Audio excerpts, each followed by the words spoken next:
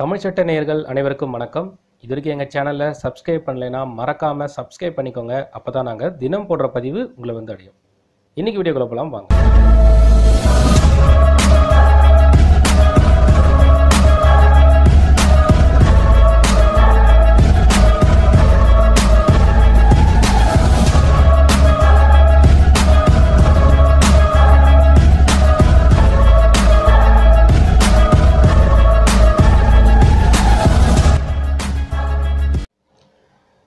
இன்னைக்கு டாப்பிக்கில் நம்ம டிவோர்ஸ் வழக்கில் ஜீவனாம்சம் எந்த அளவுக்கு எளிமையாக நடைமுறைப்படுத்தப்பட்டிருக்கு. அதே சமயத்தில் புதுசாக சுப்ரீம் கோர்ட்டில் என்ன விதமான கைட்லைன்ஸ் கொடுத்துருக்காங்க?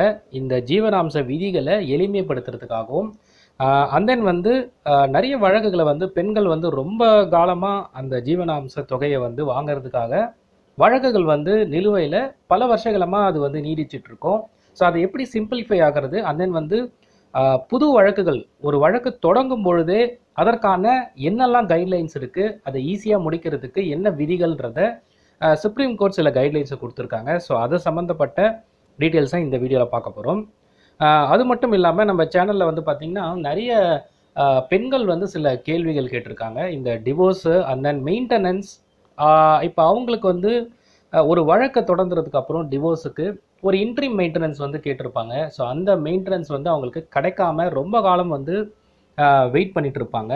ஸோ அதை வந்து எப்படி வாங்குறது? அண்ட் தென் வந்து புதுசாக ஒரு வழக்கை தொடங்கும் போதே என்ன கைட்லைன்ஸ் எல்லாம் ஃபாலோ பண்ணணும்? இது மட்டும் இல்லாமல் பல காலமாக நிலுவையில் இருக்க சில வழக்குகள் எல்லாம் எப்படி வந்து கொஞ்சம் சீக்கிரமாக முடிவு கொண்டு வர்றது? ஸோ இது சம்மந்தப்பட்ட டீட்டெயில்ஸ் எல்லாமே இந்த வீடியோவில் நம்ம பார்க்க போகிறோம் ஸோ வீடியோவை ஸ்கிப் பண்ணாமல் பாருங்கள் ஸோ முதல்ல ஒரு வழக்கு டிவோர்ஸ் வழக்கு இரண்டு பேரும் வந்து சமரசமாக செய்து கொள்வது வந்து மியூச்சுவல் டிவோர்ஸ் இன்னொரு வந்து பார்த்திங்கன்னா ஒரு தரப்பினர் மட்டும் டிவோர்ஸ் வழக்கை தொடர்றாங்க. அந்த டிவோர்ஸ் வழக்குக்கு ஆப்போசிட் பார்ட்டி வந்து சரிவர அந்த கேஸுக்கு வந்து ஆஜர் ஆகாததாலையும் அண்ட் தென் வந்து அவங்க சமர்ப்பிக்க வேண்டிய ரிட்டன் ஸ்டேட்மெண்ட்டை தள்ளி போடுறதாலையும் இந்த வழக்கு வந்து ரொம்ப காலம் வந்து நீடிச்சிட்ருக்கோம் அப்படி நீடிச்சிருக்க சில வழக்குகள்லாம் பார்த்திங்கன்னா ஏழு வருடத்துக்கும் தாண்டி கூட அந்த வழக்கு வந்து நீதிமன்றத்தில் நிலுவையில் இருக்குது இன்னமும் நிலுவையில் இருக்குது ஸோ அந்த மாதிரி வழக்குகளுக்கு கூட சீக்கிரத்தில் முடிவு கொண்டு வரத்துக்கு சில விதிமுறைகள் இருக்குது அதே சமயம் இது யாருக்கெல்லாம் பயனாக இருக்குன்றதுக்காக தான் இதை வந்து நான் சொல்கிறேன் ஃபஸ்ட்டு விஷயம் ஆல்ரெடி நீதிமன்றத்தில் நிலுவையில் இருக்க வழக்குகளை முடிவுக்கு கொண்டு வரணும். அதே சமயத்தில் புதுசாக தொடங்கக்கூடிய வழக்குகளையும் அதற்கு வந்து நீங்கள் என்னெல்லாம் கைட்லைன்ஸ் ஃபாலோ பண்ணுன்றதையும் நம்ம பார்த்துட்ருக்கோம். இப்போது ஃபஸ்ட்டு விஷயம் வந்து நிறைய பேர் வந்து யாருக்கெல்லாம் ஆல்ரெடி வழக்கு தொடர்ந்துருக்கோ அவங்களுக்கான அந்த பர்டிகுலர் டீட்டெயில்ஸை வந்து நம்ம பார்க்கலாம்.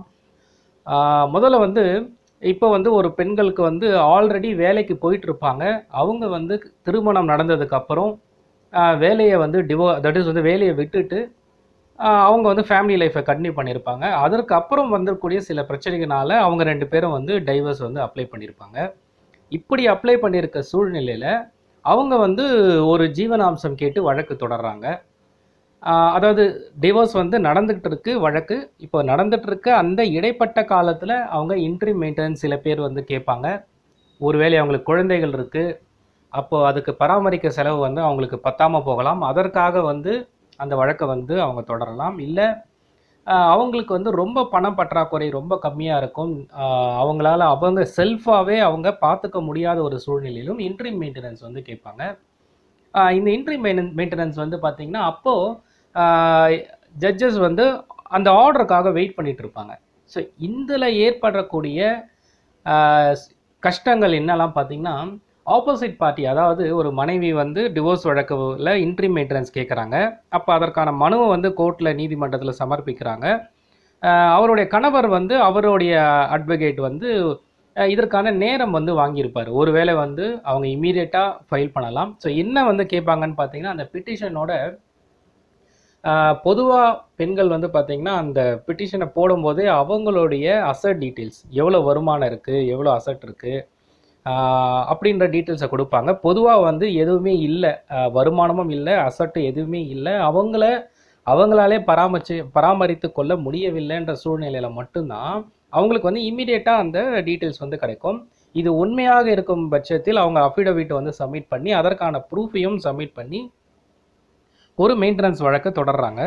இப்போது இதற்கான பதில் மனுவை வந்து அவருடைய கணவர்களிடமிருந்து வரணும். ஸோ அப்போ அவங்க என்ன பண்ணுறாங்கன்னா இதை வந்து ஒரு வாய்தா வாங்கி நிறைய டைம் வந்து இதை வந்து தள்ளி போட்டுக்கிட்டே வரும்பொழுது இந்த வழக்கு வந்து ஏற்கனவே நிலுவையில் இருக்க டிவோர்ஸும் இந்த இன்ட்ரீம் வந்து கனெக்டட் கேஸாக இருக்கும்போது இது ஒரு பக்கம் வந்து உங்களுக்கு டிலே வந்து இன்க்ரீஸ் பண்ணிகிட்டு இருக்கோம் அந்த டிவோர்ஸை வாங்குறதுக்கு.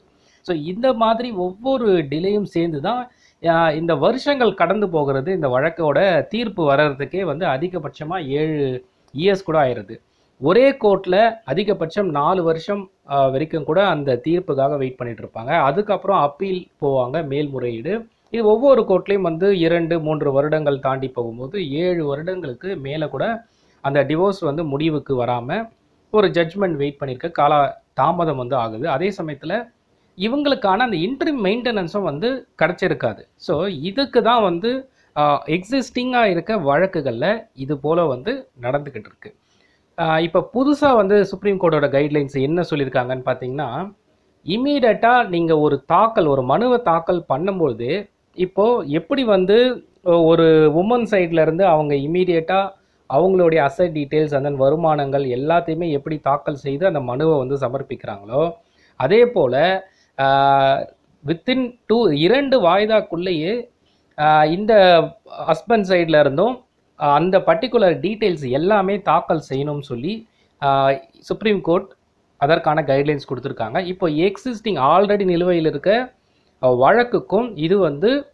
பொருந்தும். அதே சமயத்தில் ஒரு புதுசாக ஒரு வழக்கை நீங்கள் பிட்டிஷன் வந்து ஃபைல் பண்ண போகிறீங்கன்னு சொன்னாலும் இப்போ இந்த கைட்லைன்ஸை எல்லா இடத்துலையுமே வந்து கோர்ட்டில் ஃபாலோ பண்ண சொல்லியிருக்காங்க. அப்போது ஒரு மனுவை தாக்கல் செய்யும் போது இந்த மாதிரி இன்ட்ரி மெயின்டெனன்ஸ் தாக்கல் செய்யும் பொழுதே எப்படி வந்து மனைவி வந்து தாக்கல் செய்கிறாங்களோ அதே போல் கணவரும் வந்து இரண்டு வாய்தாக்குள்ளேயே அதை வந்து கம்ப்ளீட் பண்ணணும்.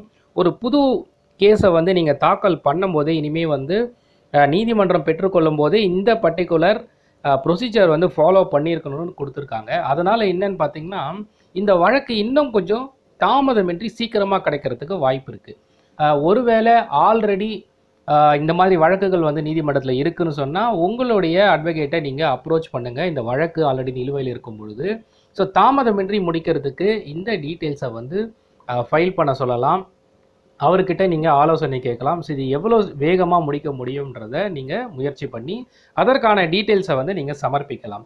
ஸோ அதனால தான் இந்த இந்த லெவலுக்கு எளிமைப்படுத்தக்கூடிய சில விதிமுறைகளை எஸ்சி வந்து அதாவது சுப்ரீம் கோர்ட் கைட்லைன்ஸ் வந்து கொடுத்துருக்காங்க. அதை யூஸ் பண்ணி இதை வந்து நீங்கள் சீக்கிரமாக முடிச்சுக்கலாம். அதே சமயத்தில் ஒருவேளை உங்களுடைய அதாவது அந்த ஹஸ்பண்ட் சைடில் இரண்டு வாய்தாக்குள்ள அந்த பர்டிகுலர் டீட்டெயில்ஸை கொடுக்கலன்னு சொன்னால் அதற்கான பனிஷ்மெண்ட்டும் வந்து நீதிமன்றம் வந்து ஒதுக்கியிருக்காங்க. இது வந்து சுப்ரீம் கோர்ட்டில் அந்த கைட்லைன்ஸும் சொல்லியிருக்காங்க. அதே சமயத்தில் நார்த் சைடில் ஒரு சில நீதிமன்றத்தில் அதற்கான பனிஷ்மெண்ட்டையும் வழங்கியிருக்காங்க. கண்டெம்ட் ஆஃப் கோர்ட்டுன்றது அவங்க வந்து ஒருவேளை அஃபிடவிட்டில் தவறுதலாக மென்ஷன் பண்ணியிருந்தாலும் அதற்கான பனிஷ்மெண்ட் உண்டு.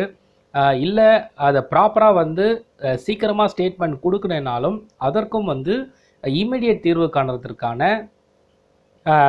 தட் இஸ் வந்து அதுக்கான ஜட்மெண்ட்டும் அண்ட் தென் வந்து அதற்கான வ- வழிமுறைகளும் இம்மீடியட்டாக பண்ண சொல்லி கோர்ட்டில் இருந்து ஆர்டர் வந்து பிறப்பிப்பாங்க. ஸோ இது எல்லாம் தான் இந்த புது கைட்லைன்ஸை வந்து கொடுத்துருக்காங்க.